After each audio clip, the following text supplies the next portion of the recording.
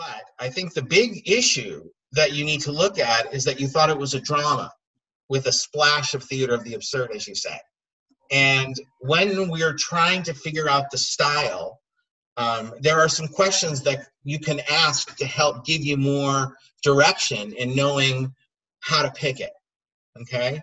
So the first thing you can ask is, well, what type of people am I dealing with?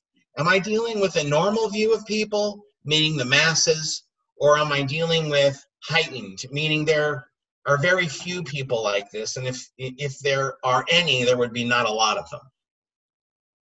Meaning we're talking about sort of the outside of society. Then you ask, what type of situation is it?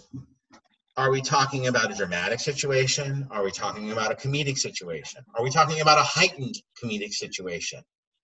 So is this is is this you know let's say you get stuck there and you go well I don't know like um, I don't know what the situation is because it seemed like you get if you if you were relatively new at this, you may get get stuck by saying, "Well, it's a dramatic situation because the guy's, you know, scared he's going to die."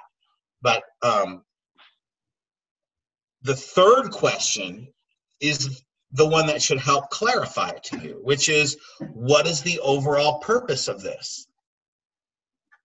How is it supposed to affect the audience? And that should give you clarity because the goal of this is not supposed to be to move the audience and get them to feel for the plight of the character the same way Apocalypse Now or Raging Bull or Casino, you know, or Goodfellas, you know, where we're talking about drama.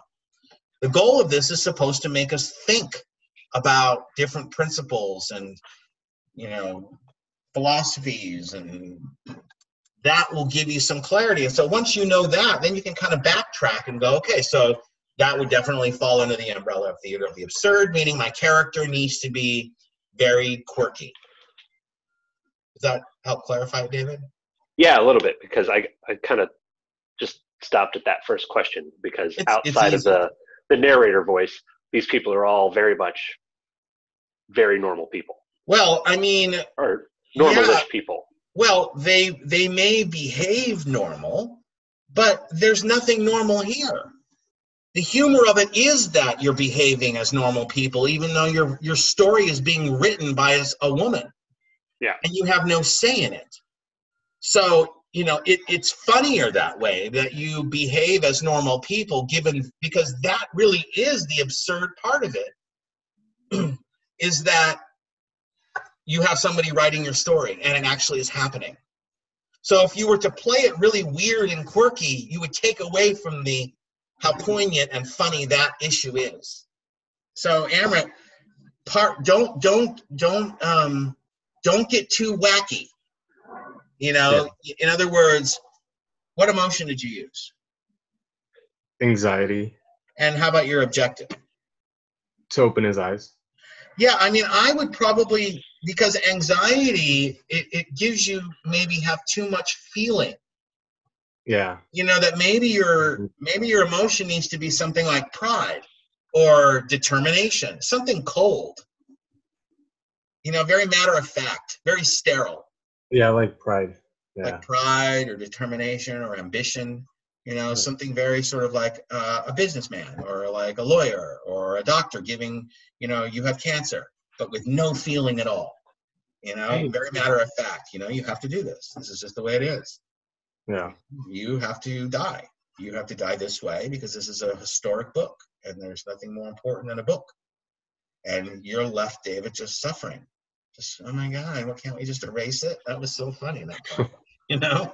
Um, and when you say things, by the way, there's going to be some bouncing back and forth here where you will become the funny for a moment, David. Because when he says that, when you say that line, well, can't we erase it? Like for that moment, that's a punchline. Okay? And then we need to see Amrit react to it. No. So yeah, and very sort of like no, like and and as if there there's no way in hell we would ever do that to a book. We wouldn't erase brilliance And then by him saying no, you have suddenly become the straight man again. So just know one of the things that makes comedy so hard is the looking at it through a microscope and figuring out how things like that work. Like how do you go from being a funny man, telling, you know, being the punchline guy to suddenly the straight man in like one second. And that does happen where your reaction sometimes can end up turning into a punchline that you now have to react to. Does that make sense? Yeah, a little bit. Yeah. Amber, you know what I mean? Oh yeah. Okay.